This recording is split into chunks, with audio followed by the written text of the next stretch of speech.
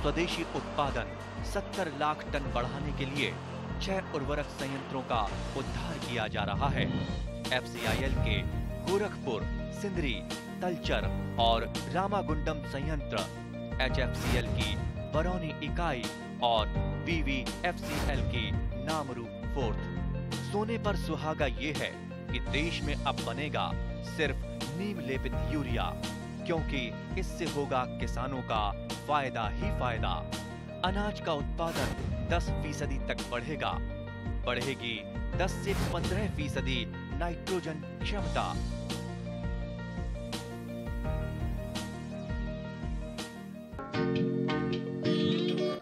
আমাৰ বহুতো কৃষকৰ ফল মূলৰ বাৰী বা বাগিচা আছে তেখেতসকলে বিভিন্ন ধৰণৰ ফল মূলৰ খেতি কৰে যদিও আৰ্থিক দিশটোৰ দিশে মনোযোগ দিয়া দেখা নাযায়। এই ক্ষেত্ৰত দৰং জিলাৰ দুই নং বৰঝাৰৰ প্ৰগতিশীল কৃষক জ্ঞানেন্দ্ৰ মণ্ডলৰ পৰিকল্পনা সামান্য বেলেগ।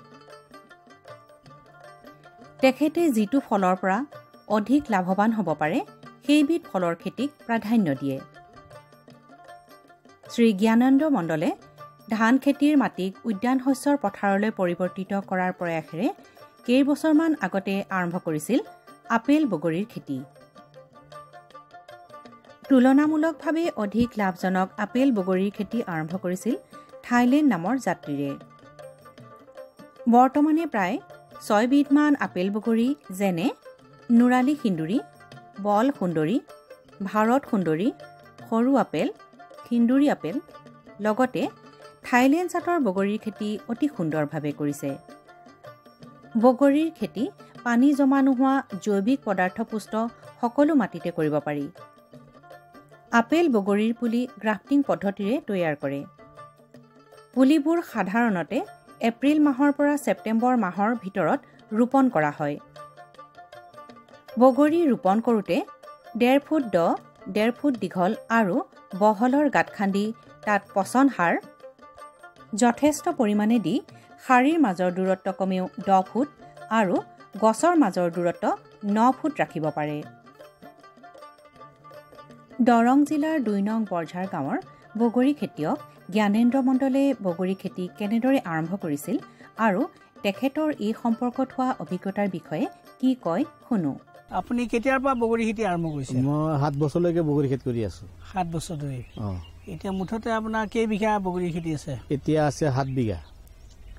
আপুনি এতিয়াতো বগৰী খেতি কৰিছে আপুনি প্ৰথম বছৰ কেইবিঘা কৰিছিলে? প্ৰথম বছৰ এক বিঘা কৰিছিলোঁ।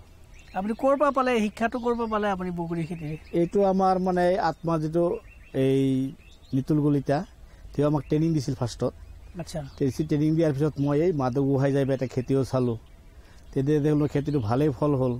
বজাৰতো চালোঁ বজাৰটো ভালেই। পিছত মই এক বিঘা ফাৰ্ষ্টত কৰিছিলোঁ। আপুনি কি জাত কৰিছিলে প্ৰথমতে? ফাৰ্ষ্টত মই থাইলেণ্ডটো কৰিছিলোঁ। ডাঙৰটো যিটো কয়। আচ্ছা। আপুনি প্ৰথম বছৰ কেনেকুৱা পালে? প্ৰথম বছৰ মই ইমান খৰচা কৰিব নোৱাৰিছিলোঁ অলপ অলপ খৰচা কৰিছিলোঁ। তাতে ষাঠি সত্তৰ হাজাৰমান বিক্ৰী কৰিছিলোঁ এক বিঘাত। আপোনাৰ খৰচ কিমান পৰিছিলে? খৰচ হৈছিল বিছ হাজাৰ টকা প্ৰথম বছৰ আপোনাৰ মোটামুটি এতিয়া পঞ্চাছ হাজাৰ টকা নহ'লে চল্লিছ হাজাৰ টকা আপোনাৰ লাভ আছে লাভ হৈছিল প্ৰথমত। তাৰপিছত আপোনাৰ এতিয়া আপুনি ধৰি লওক বিভিন্ন এতিয়া এই যে আপুনি দেখিছোঁ আপুনি বল সুন্দৰীৰ কথা কৈছে। আপুনি বল সুন্দৰীৰ কথাটো কওকচোন কেনে কেতিয়া হয় ফলটো কেতিয়া বল? সুন্দৰীটো আৰু দহ পোন্ধৰ দিনৰ পিছত পকিব। এতিয়া মোৰ পাঁচটামান ভেৰাইটি আছে ইয়াত আপেলৰ। এইটো আপোনাৰ যেতিয়া বল সুন্দৰী ইয়াৰ মানে বিশেষত্ব কি? মিঠাটো বেছি মিঠাটো বেছি এইটো মিঠাটো বেছি। আপোনাৰ যিকেইটা খেতি কৰিছে তাৰ ভিতৰত কোনটো মিঠা এইটোৱে মিঠা বেছি। আপোনাৰ বজাৰ আৰু আৰু এটা আছে আপোনাৰ ভাৰত সুন্দৰী বুলি কয়। সেইটোও মিঠা অলপ কিন্তু এইটো অলপ মানে অলপ আগতীয়াকৈ আহে। আৰু এটা আছে সিন্দুৰী আপেল আৰু এটা আছে সৰু আপেল আৰু এটা আছে নুৰালী সুন্দৰী আপেল। চাৰি পাঁচটামান আপেল খেতি আছে তাত। বগৰী খেতিৰ ব্যৱস্থাপনা আৰু কোনটো বগৰী জাতৰ পৰা কিমান উৎপাদন পাইছে সেই সম্পৰ্কত প্ৰগতিশীল কৃষক শ্ৰী জ্ঞানেন্দ্ৰ মণ্ডলে এনেদৰে কয়। থাইলেণ্ডটো অলপ মানে মিঠাটো কম বস্তুটো ফলটো আগতীয়াকৈ আহে আৰু এইটো এইটো মানে ওজনত অলপ আই দিয়ে তাৰমানে আৰু। আপুনি এতিয়া এইবছৰ আপোনাৰ মুঠতে কি কেইটা জাত কি কি খেতি কৰি কেইবিঘা কৰি আছে কোনটো জাত এইটো সাত বিঘা কৰি আছোঁ। সাত বিঘা কোনটো কেইবিঘা কৰিছে? মই আপেলটো আছে আঢ়াই বিঘামান আছে বৰ সুন্দৰী যিটো আপেল। আৰু এই সিন্দুৰীটো আছে এক বিঘা নোৱালী সুন্দৰীটো আছে আধা বিঘা। আৰু আপোনাৰ ভাৰত সুন্দৰীটো আছে এক বিঘা আৰু সৰু আপেলটো আছে এই ডেৰ কাটামান আৰু এই ডেৰ বিঘা মাটি অলপ ওপৰত আছে থাইলেণ্ডটো। যিবিলাক আপুনি ধৰক পুলি আনিছে ক'ৰ পৰা আনিছে আপুনি? মই পুলিটো এইটো আমি কলকাতাৰ পৰা আনো। এটা পুলিত কিমান পৰে? এটা পুলি ত্ৰিছ টকা চল্লিছ টকা পৰে। প্ৰত্যেক জাতৰ দামটো একে নে বেলেগ? নাই বেলেগ বেলেগ থাকে। আপেলৰ দামটো অলপ বেছি থাকে থাইলেণ্ডৰ দামটো অলপ কম থাকে। এতিয়া আপোনাৰ বগৰীটো কেনেকৈ লগাইছে কিমান দূৰত্বত লগাব লাগে আপোনাৰ এতিয়া ধৰি লওক আপুনি দেখিছে বহুত ঘন হৈ গৈছে। সেই অভিজ্ঞতা কওকচোন কেনেকুৱা কৰিলে ভাল হ'ব খেতিয়কৰ? মোৰ খেতি অলপ ঘনে হৈছে। ঘন হ'লে প্ৰথম বছৰত ফলটো আমি বেছিকৈ পাই যাওঁ। আৰু দ্বিতীয় বছৰ গছটো উঠাই দিব লাগে মাজে মাজে এটাকৈ লাইন। মানে অলপ পাতলকৈ লগালে মানে আৰু দ্বিতীয় বছৰ উঠাব নালাগে। ঘনকৈ লগাইছোঁ মানে প্ৰথম বছৰ ফলটো আমি বেছিকৈ পাই যাম বা পাই আছোঁ। সেইকাৰণে ঘনকৈ লগাইছোঁ। আপোনাৰ ধৰি লওক খেতিটো উঠিলে আপুনি কেতিয়াৰ পৰা কেতিয়ালৈকে থাকে? এইটো আমি ফাগুন চ'ত মাহত লগাওঁ। এইটো অহা বছৰ চ'ত ফাগুনলৈকে থাকে তাৰমানে। এঘাৰ মাহমান থাকে খেতিটো। আপোনাৰ ফলটো হোৱাৰ পিছত আপোনালোকে পৰিচৰ্যা কি কি কৰিব লাগে? কেনেধৰণৰ ব্যৱস্থা? পৰিচৰ্যাৰ মাজত মাত্ৰ পানীটো মাজে মাজে দি থাকিব লাগে। ফলটো যেতিয়া মেচুৰিটি হোৱাৰ সময় হয় তেতিয়া আমি আৰু কোনো দাৱাই চাৱাই নিদিওঁ। মাত্ৰ পানীটো মাজে মাজে দি থাকোঁ এইটোৱে। ইয়াৰ আগতেই পৰিচৰ্যাটো কৰি থাকিব লাগে। আৰু আপোনাৰ ধৰি লওক এই ডাল চাল কেনেকৈ কাটে? মানে কাটি দিব লাগে নে? ডালটো আমি এইটো চ'ত মাহত কাটোঁ। যেতিয়া ফলটো চেচ হৈ যাব তেতিয়া আমি এক ফুট এক ফুট ওপৰত মাটিৰ পৰা এক ফুট ওপৰত মই ডাইৰেক্টলি গাছটো কাটি দিওঁ। চাহ বাগানৰ নিচিনাকৈ কাটি দিয়ে কাটি দিওঁ। ডাইৰেক্ট কৰাতেৰে দি ভালকৈ কাটি যাতে বস্তুটো নাফাটিব নালাগে তাৰমানে ভালকৈ কাটিব লাগে। এতিয়া আপোনাৰ অভিজ্ঞতাৰ ফালৰ পৰা এডাল গছত আপুনি কেই কেজিমান ফল পাই আছে? গড়ে? আমি চল্লিছ কেজিলৈকে পাইছোঁ। আৰু পাতল নাই এইটো মানে পাতলকৈ লগালে অলপ বেছিকৈ পাম। মানে মোৰতো ঘন হোৱাৰ কাৰণে মই চল্লিছ পাইছোঁ আৰু পাতলকৈ লগালে পঞ্চাছ ষাঠি কেজিমান হ'ব এক বছৰত শ্ৰী জ্ঞানেন্দ্ৰ মণ্ডলক বগৰীৰ খেতি প্ৰাকৃতিক কৃষি পদ্ধতিত কৰিবলৈ মন আছেনে বুলি সোধা প্ৰশ্নৰ উত্তৰত শ্ৰী মণ্ডলে কি কয় শুনো। এতিয়া আপুনিতো প্ৰাকৃতিক কৃষিৰ কথা অলপ গম পাইছে। আপুনি বগৰীৰ প্ৰাকৃতিক কৃষিত কৰিব খুজিছে নেকি?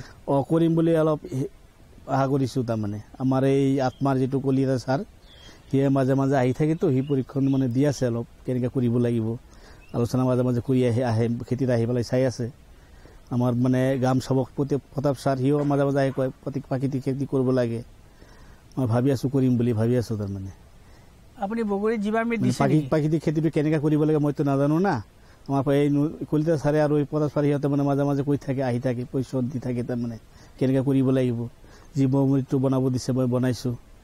মানে সিহঁতৰ পৰি- পৰি- প্ৰশিক্ষণত মই মানে বস্তুটো কৰিম বুলি ভাবি আছোঁ আৰু। আমাৰ অসমৰ ফল মূলৰ খেতিত সাধাৰণতে ৰাসায়নিক সাৰৰ ব্যৱহাৰ অতি কম। এনে ক্ষেত্ৰত এই বাগিচাসমূহ প্ৰাকৃতিক কৃষি পদ্ধতিৰে প্ৰয়োজনীয় ব্যৱস্থাপনা ল'লে অধিক লাভৱান হ'ব পাৰিব। এইখিনিতে দৰং জিলাৰ চিপাঝাৰ উন্নয়ন খণ্ড অঞ্চলৰ বাবে নিয়োজিত কৃষি বিভাগৰ খণ্ড প্ৰযুক্তি প্ৰবন্ধক B T M Shri Shankar নাথে বগৰী খেতিৰ ওপৰত কি কয় শুনোচোন আহক। আমাৰ অসমৰ খেতিয়কসকলে ঘাইকৈ যদিও ধান ধানৰ খেতিয়ে কৰে তাৰ লগে লগে কিন্তু কেছ ক্ৰপ হিচাপত বা উপাৰ্জন অধিক উৎপাদনৰ কাৰণে অধিক উপাৰ্জনৰ কাৰণে আমি আন আন খেতিও হাতত লোৱা দেখা পাওঁ। তাৰ ভিতৰত আপেল বগৰী অন্যতম। আপেল বগৰী খেতি এতিয়া অসমত কিন্তু নতুন হৈ থকা নাই বা অসমত আপেল বগৰীৰ যি চাহিদা ফলৰ যি চাহিদা সেই চাহিদাও যথেষ্ট বৃদ্ধি পাইছে। আৰু বজাৰতো এই আমাৰ থলুৱা কৃষকৰ উৎপাদিত যি আপেল বগৰী সেয়া ইতিমধ্যে সহজলভ্য হৈ পৰিছে। আৰু কৃষকে ভাল দামত এই খেতিৰ ফচল বিক্ৰী কৰি আমি লাভান্বিত হোৱা দেখা পাইছোঁ। আজি যদি আমি এই কৃষি পদ্ধতিৰ কথা আলোচনা কৰিবলৈ যাওঁ তাৰ আগতে আমি আলোচনা কৰিব লাগিব যে এই খেতিৰ বা আপেল বগৰীৰ আচলতে আমাৰ খাদ্যৰ গুণগত মানদণ্ড হিচাপত বা খাদ্যৰ হিচাপত আমাৰ কি প্ৰয়োজনীয়তা আছে? আপেল বগৰীত যথেষ্ট পৰিমাণৰ ভিটামিন চি কে আদি কৰি ভিটামিন বি আৰু ডি ভিটামিন পোৱা যায় আৰু তাৰ লগতেও যথেষ্ট ইয়াত ঔষধি গুণো থাকে। শিশুৰ খাদ্য হিচাপতো আমি আপেল বগৰীক বা আমাৰ গৰ্ভৱতী মাতৃকো আমি আপেল বগৰী এটা ভাল পোষক খাদ্য হিচাপত খুৱাব পাৰোঁ। এতিয়া আহিলে জলবায়ুৰ কথা যে অসমৰ যি জলবায়ু বা অসমৰ যি মাটি এই অসমৰ জলবায়ু এই আপেল বগৰী খেতিৰ কাৰণে যথেষ্ট উপযোগী। ইয়াত মাটিৰ কাৰণে কোনো ধৰণৰে অসুবিধা আহি নপৰে। তথাপি খেতিয়কে যেতিয়া এই খেতিখিনি বাণিজ্যিক ভিত্তিত কৰিবলৈ আগবাঢ়ে তেওঁলোকে সহজে পানী ওলাই যাব পৰা ওখ ৰদ ঘাই পলসুৱা বা বালিচহীয়া মাটিত এই খেতি ভালদৰে কৰিব পৰা যায়। আপেল বগৰীৰ বিভিন্ন জাত ইতিমধ্যে বজাৰত পোৱা গৈছে। সেই জাতসমূহৰ প্ৰত্যেকৰে সুকীয়া সুকীয়া কিছুমান বৈশিষ্ট্য থাকে গুণাগুণ থাকে। গতিকে কৃষকে সেই বৈশিষ্ট্যসমূহ গুণাগুণসমূহ চালি জাৰি চাই আৰু বজাৰ মূল্যৰ কথাটো তেখেতে চাই জাতবিলাক নিজৰ পচন্দ অনুযায়ী তেওঁ বাছনি কৰি ল'ব পাৰিব। ইয়াৰ ৰোপণ সামগ্ৰী হিচাপত সাধাৰণতে গ্ৰাফটেড পুলি বজাৰত পোৱা যায় আৰু সেই পুলিবিলাক এবছৰৰ ভিতৰত প্ৰথম বছৰতে ফল দিয়া আৰম্ভ কৰে। আপেল বগৰী ৰোৱাৰ আগতে মাটিখিনি ভালদৰে হাল কোৰ মাৰি বন বাট চিকুণাই সমান কৰি মৈ মৈ দি সমান কৰি ল'ব লাগে। তাৰপিছত আপেল বগৰীৰ পুলিখিনি আমি শাৰী শাৰীকৈ আমি ৰুব লাগে। প্ৰতিটো শাৰীৰ মাজত দুইৰ পৰা আঢ়ৈ মিটাৰ আৰু প্ৰতিটো পুলিৰ পুলিৰ মাজত প্ৰায় ডেৰ মিটাৰ ব্যৱধানত ডেৰৰ পৰা দুই মিটাৰ ব্যৱধানত আমি এই পুলিসমূহ ৰুব পাৰোঁ। ইয়াত এটা কথা থাকে যে আমি যদি ডেন্স মানে প্লেণ্টিং কৰোঁ বা কম স্পেচিঙত প্লেণ্টিং কৰোঁ তেতিয়াহ'লে আমাৰ পিছৰ পৰিচৰ্যাখিনি বৰ গুৰুত্বপূৰ্ণ হৈ পৰে আৰু তেতিয়া বেছি গছ আমি একে একেডৰা মাটিতে ৰুব পাৰোঁ। কিন্তু যদি আমি কম পৰিচৰ্যাৰে আমি ভাল উৎপাদন পাব খোজোঁ তেতিয়াহ'লে কিন্তু ইয়াক প্ৰতি মিটাৰ প্ৰতিটো প্ৰতিজোপা গছৰ মানে অন্তৰাল হ'ব লাগে ডেৰৰ পৰা দুই মিটাৰ। এতিয়া আহিলে পুলিখিনি ৰোৱাৰ আগতে পুলি ৰোৱাৰ যিটো পদ্ধতি এই পুলি ৰুবৰ কাৰণে সময় হ'ল উপযুক্ত সময় হৈছে মাৰ্চ এপ্ৰিল মাহ বা ফেব্ৰুৱাৰী মাহৰ শেষৰ ফালৰ পৰা ইয়াক আৰম্ভ কৰিব পাৰি। আৰু সেইখিনি সময়ত আমি এই নিৰ্দিষ্ট ব্যৱধানত আমি প্ৰথমতে গাঁতকেইটা খান্দিব লাগে। প্ৰায় দুই ফুট দুই দুইৰ পৰা আঢ়ৈ ফুট বহল দুইৰ পৰা আঢ়ৈ ফুট দ এনেকৈ আমি গাঁত খান্দি ল'ব লাগে। আৰু সেই গাঁতখিনি ওপৰৰ মাটি এভাগ আৰু বাকীখিনি পচন সাৰ নতুবা ঘন জীৱামৃতেৰে আমি পূৰ কৰি ল'ব লাগে। তাৰপিছত গাঁতটোৰ সমাজতে আমি পুলিটো ৰোপণ কৰিব লাগে। আমাৰ কৃষকসকলে এতিয়া প্ৰাকৃতিক কৃষি পদ্ধতিৰ ফালে ধাৱমান হোৱা আমি দেখা পাইছোঁ আৰু এইটো যথেষ্ট ফলপ্ৰসূ প্লাছ এইটোৰ লগতে আমাৰ উৎপাদিত সামগ্ৰী আমাৰ ফলখিনিৰ যিটো গুণগত মানদণ্ড সেইটো যথেষ্ট পৰিমাণৰ উন্নত হোৱা দেখা যায়। তাৰ লগতে যিটো ছেল্ফ লাইফ বুলি কয় যে আমি ফলখিনি কিমান দিনলৈ সাঁচি ৰাখিব পাৰিম সেই সময়খিনি দৈৰ্ঘ্য মানে সেই জীৱনকালটো যথেষ্ট বৃদ্ধি হোৱা দেখা যায়। প্ৰাকৃতিক কৃষি পদ্ধতিত বগৰীৰ খেতি কৰিব পাৰি। গতিকে খণ্ড প্ৰযুক্তি প্ৰবন্ধক শ্ৰী শংকৰ নাথে এই প্ৰাকৃতিক কৃষি সম্পৰ্কত কি কৈছে শুনো। গতিকে প্ৰাকৃতিক কৃষি পদ্ধতিত প্ৰথমতে আৰম্ভণিতে আমি কৰিব লাগিব কি যে আমি এই যি পুলিটো ৰুম সেই পুলি ৰোৱাৰ সময়ত আমি গাঁতটোত ঘন জীৱামৃত বা জীৱামৃতেৰে আমি তাত পুলিটো ৰোৱা ঠাইখিনিত দি ল'ব লাগিব প্ৰথমতে। তাৰপিছত পুলিটো সমাজতে ৰুই আমি পাতলীয়া জলসিঞ্চনৰ ব্যৱস্থা কৰিব লাগিব। জলসিঞ্চনৰ লগে লগে পৰিচৰ্যা হিচাপে আমি প্ৰথম অৱস্থাত পুলিখিনি ডাঙৰ হোৱাৰ কাৰণে দহৰ পৰা বাৰ দিনৰ অন্তৰে অন্তৰে জীৱামৃত আমি পুলিৰ গুৰিত ঢালিব লাগে স্প্ৰে' কৰিব পাৰি। নতুবা ঘন জীৱামৃত দুমাহৰ মূৰে মূৰে আমি গছৰ গুৰিত দিব পাৰোঁ। ইয়াৰ পিছতে বিশেষ তেনেকুৱা পৰিচৰ্যা নাথাকে। মাজে মাজে আমি জল জলসিঞ্চনৰ ব্যৱস্থাটো নিয়মিত ৰূপত কৰি থাকিব লাগে। আৰু মালচিংটো এটা বা আচ্ছাদনটো এটা ইয়াৰ দৰকাৰী বস্তু। যিহেতু প্ৰথম বছৰত আমাৰ পুলিবিলাকৰ ব্যৱধানটো যথেষ্ট থকাৰ কাৰণে মাজত যথেষ্ট খালী ঠাই থাকে। গতিকে এই ঠাইখিনিত আমি মালচিঙৰ ব্যৱস্থা কৰিব পাৰোঁ। মালচিং বুলি কওঁতে আমি তাত কিছুমান শস্য ৰোপণ কৰিব পাৰোঁ। যেনে আমি মাজৰ ঠাইখিনিত জলকীয়া বেঙেনা নতুবা কেপচিকাম বা এনেকুৱা ধৰণৰ আমি কম উচ্চতাৰ যি আমাৰ খেতি আছে সেই খেতিসমূহ কৰিব পাৰোঁ। সেই খেতিখিনি খেতিখিনি প্ৰথমতে কৃষকজনৰ যিটো আয় সেই আয়টো বৃদ্ধি কৰিব আৰু লগতে মাটিখিনিত আচ্ছাদন হিচাপত কাম কৰিব। যাৰ ফলত সূৰ্যৰ পোহৰটো পোনপটীয়াকৈ মাটিত পৰিব নোৱাৰাৰ ফলত আমাৰ মাটিৰ যি আৰ্দ্ৰতা মাটিৰ আৰ্দ্ৰতাটো ধৰি ৰখাত সহজ হয়। তাৰ লগে লগে আন এটা কথাটো আমাৰ সহায়ক হয় সেইটো আচ্ছাদনটো থকাৰ কাৰণে যে মাটিৰ যি আমাৰ মাটিৰ যি আমাৰ কোৱালিটি বা মাটিৰ যিটো স্বাস্থ্য য'ত আমাৰ মাটিৰ মাজত বায়ু চলাচল কৰাৰ যিটো এটা পদ্ধতি এইবিলাকৰ ওপৰতো ইয়াৰ প্ৰভাৱ পৰে কাৰণে মাটিখিনিৰ স্বাস্থ্যটো যথেষ্ট উন্নত হয়। তাৰপিছতে আন এটা গুৰুত্বপূৰ্ণ কথা যে প্ৰথম বছৰ যেতিয়া ফল লাগিবলৈ আৰম্ভ হয় তেতিয়া খেতিয়কসকলে এটা ডাঙৰ অসুবিধাৰ সন্মুখীন হয় যে এই ফলসমূহ দেখি চৰাইবিলাক আকৰ্ষিত হয় আৰু বিভিন্ন চৰাই আহি ফলসমূহ নষ্ট কৰা দেখা যায়। সেই ক্ষেত্ৰত খেতিয়কসকলে এই আপেল বগৰী খেতি কৰোঁতে ফল ধৰাৰ আগে কিবা ফল ধৰাৰ সময়ত ওপৰত এখন নেটৰ ব্যৱস্থা কৰিব লাগে। নেটখন ধুনীয়াকৈ দিয়াৰ ফলত ইয়াত চৰাই ইয়াত উপদ্ৰৱ কৰিব নোৱাৰিব। বেমাৰৰ ক্ষেত্ৰত আমি দেখা পাওঁ যে বেমাৰৰ ক্ষেত্ৰত আমাৰ আপেল বগৰীৰ বিশেষ তেনেকুৱা বেমাৰ নাই। আৰু কিন্তু ইয়াত মাজে মাজে আমি পোকৰ উপদ্ৰৱ দেখা পাওঁ। ইয়াত কেইবাটাও পোক দেখা যায়। যেনে আমাৰ আমি যিটো কপাহী পোক বুলি কওঁ কপাহী পোকটো দেখা যায়। কেতিয়াবা কেতিয়াবা ইয়াত ফ্ৰিড বৰাৰ দেখা যায় বা এনেকুৱা ধৰণৰ দুই এটা পোক দেখা যায়। এই এই পোককেইটাৰ কণ্ট্ৰলৰ কাৰণে আমি কোনো ধৰণৰ ৰাসায়নিক দ্ৰব্য ব্যৱহাৰ নকৰিলেও হ'ব। কৃষকসকলে এই পোকবিলাকৰ নিয়ন্ত্ৰণৰ কাৰণে আমাৰ প্ৰাকৃতিক খেতিৰ নিমাস্ত্ৰ ব্যৱহাৰ কৰিব পাৰিব বা কেতিয়াবা দৰকাৰ হ'লে অগ্নেয়াস্ত্ৰ বা ব্ৰহ্মাস্ত্ৰ ব্যৱহাৰ কৰিব পাৰিব। নিমাস্ত্ৰ আৰু ব্ৰহ্মাস্ত্ৰ নিজৰ ঘৰতে কৃষকসকলে কোনো বস্তু নিকিনাকৈ থলুৱাভাৱে পোৱা সামগ্ৰীৰে ঘৰতে বনাই ল'ব পাৰিব। আৰু এই বিষয়ে কৃষক কৃষকসকলে উপযুক্ত প্ৰশিক্ষণৰ প্ৰশিক্ষণ ল'ব লাগে। আৰু তাৰপিছত তেওঁলোকে সেইখিনি শিকি লৈ ঘৰতে এই প্ৰিপাৰেশ্যনখিনি বনাই লৈ তেওঁলোকে এইটো প্ৰয়োগ কৰিব পাৰে। মই পুনৰ কৈছোঁ যে মই আজি ৰাসায়নিক সাৰ দিয়াৰ কাৰণে কৃষকসকলক উৎসাহিত কৰিব খোজা নাই। পৰিৱেশৰ প্ৰতি লক্ষ্য ৰাখি খাদ্যৰ পুষ্টিগত গুণৰ প্ৰতি লক্ষ্য ৰাখি আমি প্ৰাকৃতিক খেতিৰ যি সাৰৰ ব্যৱস্থা যেনে জীৱামৃত আমি জীৱামৃত ব্যৱহাৰ কৰিবলৈ কৈছোঁ। খালি এটা কথা মন কৰিব লাগিব যে আমি ৰাসায়নিক সাৰ যেনেকৈ বিভিন্ন ড'জত দিওঁ এবাৰতে নিদিওঁ ঠিক তেনেকৈ জীৱামৃতো কিন্তু এটা নিয়মিত ইণ্টাৰভেলত নিয়মিত ব্যৱধানত তেওঁলোকে দি থাকিব লাগিব। আৰু ইয়াত বজাৰৰ যিটো কথা ইয়াত বজাৰৰ কোনো ধৰণৰ সমস্যা অসমত এতিয়ালৈকে হোৱা নাই। অসমৰ কৃষকসকলে ইয়াত যি মূল্য পাবলৈ সেই উচিত মূল্যতে ইয়াৰ কিন্তু বজাৰ হৈ আছে আৰু চাহিদাও যথেষ্ট বৃদ্ধি পোৱা পৰিলক্ষিত হৈছে। কাৰণ আমি লক্ষ্য কৰিছিলোঁ যে যোৱা কেইবাটাও বছৰত আমাৰ খেতিয়কসকলৰ উৎপাদিত যিটো আপেল বগৰী সেইটোৰ যিটো কোৱালিটি সেইটো যিটো সোৱাদ বা কোৱালিটি দিনে দিনে বৃদ্ধি পোৱাহে পৰিলক্ষিত হৈছে। কাৰণ বজাৰত বিভিন্ন নতুন জাতৰ আপেল বগৰী আহিছে আৰু এই জাতসমূহ যথেষ্ট উন্নত আৰু ইয়াৰ পুষ্টিগত দিশেই হওক বা সোৱাদেই হওক বা ৰঙেই হওক যথেষ্ট ভাল আকৰ্ষণীয়। গতিকে বজাৰৰ যিটো চাহিদা সেইটো বৃদ্ধি পাইছে। আন ফলৰ তুলনাত আপেল বগৰীৰ কিন্তু চাহিদাটো আমাৰ অসমৰ বজাৰত যথেষ্ট বৃদ্ধি পাইছে। গতিকে আমাৰ কৃষকসকলে নিজৰ উৎপাদন বৃদ্ধিৰ কাৰণে বা আমাৰ যিখিনি যুৱক যুৱতী আছে তেওঁলোকে স্বাৱলম্বনৰ পথ হিচাপত এনেকুৱা ফলৰ বাগান বিশেষকৈ আপেল বগৰী অতি সহজ খেতি আঁকোৱালি ল'ব পাৰে। মই ভাবোঁ এইটো এটা ভাল ইতিবাচক দিশ হ'ব পাৰে অসমৰ যি আমাৰ নিয়োগৰ ব্যৱস্থা বা নিয়োগৰ পথাৰখনৰ বাবে খেতিয়ক হিচাপত এটা মৰ্যাদা সম্পূৰ্ণ এটা ধুনীয়া এটা প্ৰফে বৃত্তি হিচাপত তেওঁলোকে গ্ৰহণ কৰিব পাৰে। আৰু আপেল বগৰী ইয়াৰ এটা উৎকৃষ্ট উদাহৰণ যাৰ জৰিয়তে অতি সহজে কম সময়ত কম মূলধন ব্যয় কৰি আমি কি সংস্থা আত্মসংস্থাপিত হ'ব পৰা দহজনক আমি উপ- উপাৰ্জনৰ পথ দেখাব পাৰোঁ। বগৰী খেতিত চৰাই উপদ্ৰৱ বৰ বেছি। তেনে ক্ষেত্ৰত পাতল নেট লগাব পাৰি। বগৰী খেতি সম্প্ৰসাৰণৰ ক্ষেত্ৰত বেছিমাৰী উন্নয়ন খণ্ডৰ এগ্ৰিকালচাৰেল টেকনলজি মেনেজমেণ্ট এজেঞ্চি চমুকৈ এ টি এম এৰ বি টি এম নিতুল কলিতাই বিশেষ ভূমিকা লৈ আহিছে।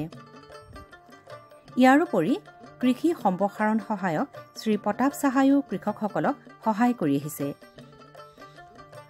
আমি লগ পাইছিলোঁ বৰঝাৰ এলেকাৰ কৃষি সম্প্ৰসাৰণ সহায়ক Shri Pratap Saha Bechimari united farmers producer company F P চিৰ board of director Shri Tapas Das আৰু Pragati F I G farmers interested গ্ৰুপৰ সভাপতি শ্ৰী লৱচন্দ্ৰ দাস ডাঙৰীয়াক। তেখেতসকলে নিজৰ নিজৰ ক্ষেত্ৰখনত কৰি থকা কাম কাজৰ বিষয়ে কি কয় শুনো। ইয়াতে ছাৰ আগতে ছাৰ ইমান হেৰি নাছিলে বছৰত এটাই খেতি কৰি আছিলে।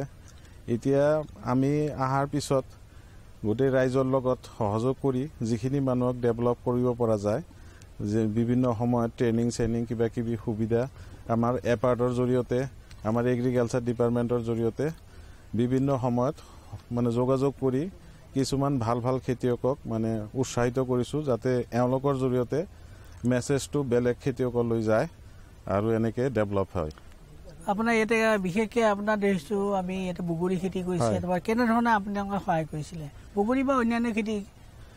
এনেকৈ বগৰী খেতি কৰিছে এখেতে। বগৰী তাৰপিছত আপোনাৰ ড্ৰেগন ফ্ৰুইট কেপচিকাম আৰু ষ্ট্ৰবেৰী আৰু গুৱাভা। আমি এগ্ৰিকালচাৰ হৰ্টিকালচাৰৰ পৰা আমাৰ গুৱাহাবাৰ চিট মানে পুলি যোগান ধৰিছিলোঁ। তাৰপিছত আপোনাৰ কেপচিকামৰ পুলিও দিছোঁ। আৰু এনে বিভিন্ন যেনেকৈ সুবিধা ড্ৰেগন ফ্ৰুইটৰ পুলিও দিছোঁ। আৰু বিভিন্ন সময়ত যিখিনি তেওঁৰ লগত সহযোগ কৰাৰ কাৰণে যিখিনি ডেভেলপ কৰাৰ কাৰণে যিখিনি আমাৰ ট্ৰেইনিং চেইনিং বা কিবা কিবি বেলেগ সুবিধাও আমি দিছোঁ। এপাৰ্টৰ জৰিয়তেও এপাৰ্ট মানে আত্মাৰ জৰিয়তেও আমি কিবা কিবি সহযোগ কৰিছোঁ। তাৰপিছত এপাৰ্টৰ লগতো তেওঁ সহযোগ আছে। মোৰ আমাৰ এ পি চিৰ এতিয়া বৰ্তমান যিখিনি প্ৰডাকশ্যন খেতিয়কসকলে প্ৰডাকশ্যন কৰি আছে সেইখিনি বাহিৰত বাহিৰৰ বজাৰত কেনেকৈ বিক্ৰী কৰিব পাৰোঁ কেনেকৈ লাভ খেতিয়কসকলক লাভৱান দিব পাৰোঁ সেইটো চেষ্টা কৰি আছোঁ। আৰু অলৰেডি আমি গুৱাহাটী বজাৰ আৰু ইপিনে গোলাঘাটত বিক্ৰী কৰিছোঁ। আপোনালোকে কি কি শস্য আপোনালোকে বজাৰ বজাৰৰ হেৰি দি আছে সুবিধা দি আছে? হয়। আম- আমাৰ বিশেষকৈ ভেজিটেবলৰ ওপৰত হৈ আছে চব্জিৰ ওপ- ওপৰত। এতিয়া কবি ফুলকবি বন্ধাকবি জলকীয়া গাজৰ এইখিনি আৰু বাকী গোটেইখিনি দি আছোঁ। আপোনাৰ কৃষি বিভাগৰ ধৰি লোৱা আত্মা এটা বিভাগ বা এটা শাখা আছে তেওঁলোকৰ পৰা আপোনাৰ কেনেধৰণৰ সুবিধা পাইছে? হয় আপোনাৰ পৰা আমি বিশেষখিনি বহুতখিনি সুবিধা পাইছোঁ। আৰু ছাৰসকলক যিকোনো ট্ৰেইনিং আৰু দি থাকে সময়ে সময়ে। আৰু ফোন কৰিলে যিকোনো বেমাৰৰ যদি খেতিয়কসকলৰ কিবা এটা হয় আমাৰ এ, খেতিত কিবা হয় লগে লগে ফোন কৰিলে সেই সুবিধাটো পাওঁ। এফ আই জিৰ পৰা ছাৰ আমিতো আগতে এফ আই জি বস্তুটো জনা নাছিলোঁ। আমাৰ যিটো দৰং জিলাৰ যিটো কৃষি বিষয় আমাৰ দলগাঁও যিটো কৃষি বিষয় আছে ইয়াতে নিতুল ছাৰ। নিতুল ছাৰৰ জৰিয়তে আৰু আমাৰ গ্ৰেম চাবক প্ৰতাপ ছাৰৰ জৰিয়তেহে আমি গম পাইছোঁ যে আমাৰ বৰজাৰত এখন এফ আই জি খুলিব পৰা যায়। তাৰপিছত আমি এখন এফ আই জি গোট গঠন কৰিছোঁ। এফ আই জি গোট গঠন কৰাৰ পিছত আমাৰ কৃষি বিষয়ৰ যিবিলাক সুবিধা সেইবিলাক আমি পাই আছোঁ। ধৰক যিকোনো খেতিৰ বিষয়ে মানে পৰামৰ্শ দিহা পৰামৰ্শ ফোনতে হওক বা ট্ৰেইনিঙতে হওক এইবিলাক আমি পাই আছোঁ। আপোনাৰ চাহ টেঙৰি আপোনাৰ বিভাগৰ ফালৰ পৰা আৰু কি কি আঁচনি আপোনালোকে বৰ্তমান ৰূপায়ণ কৰি আছে? বৰ্তমান এতিয়া আপোনাৰ প্ৰধানমন্ত্ৰী ফচল বীমা যোজনা যিটো নেকি খেতিয়কসকলৰ প্ৰাকৃতিকভাৱে যদি কিবা দুৰ্যোগ হয় বা বেমাৰ আজাৰ বা যিকোনো ক্ষেত্ৰত যদি অসুবিধা হয় খেতিডৰা তেতিয়া মানে ইঞ্চুৰেঞ্চ এটাৰ ব্যৱস্থা কৰা হৈছে প্ৰধানমন্ত্ৰী ফচল বীমা যোজনা। এতিয়া বৰ্তমান এইটো চলি আছে। আৰু পি এম কিষাণৰ যিখিনি মানে হিতাধিকাৰী আছে তেওঁলোকৰ কিবা কিবি কাগজ পাতি আমি মানে গ্ৰহণ কৰি আছোঁ। তাৰ বাহিৰত ডিপাৰ্টমেণ্টৰ পৰা যিখিনি যেনে বড়ো ধানৰ মানে বীজ আৰু মাকৈ আৰু বিভিন্ন সৰিয়হ চৰিয়হটো গ'লে মানুহখিনি কৰিছে। আলু এগ্ৰিকালচাৰ ডিপাৰ্টমেণ্টৰ আৰু যিখিনি বস্তুখিনি আহে আমি সুচাৰুৰূপে পথাৰ পৰিচালনা সমিতি আছে মেম্বাৰ আছে আৰু এখেতসকলৰ লগতো সহযোগ কৰি বস্তুখিনি ডিষ্ট্ৰিবিউট কৰা যায়। আমাৰ কৃষকসকলে বজাৰ ব্যৱস্থা সুবিধাজনক নোহোৱা বাবে উৎপাদিত আপেল বগৰীৰ দাম কম পাই আছে।